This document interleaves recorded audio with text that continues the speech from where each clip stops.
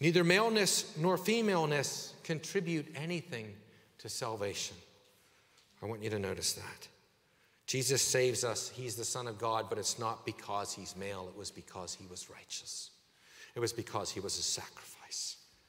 It's not his maleness that saves us. The point of our call to worship is this that in Christ, before God, neither slave nor free, rich nor poor, neither male nor female, what counts is Christ. Are you born again? Do you have the Holy Spirit?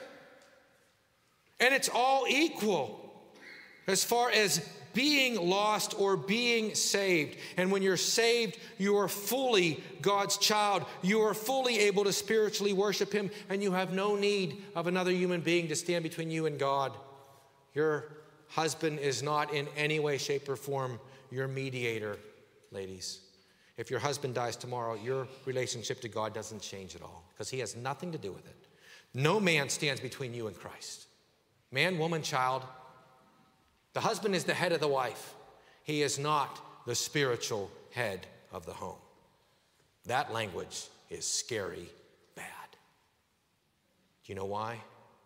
Because Jesus Christ is the only spiritual head of the church. He has men officers.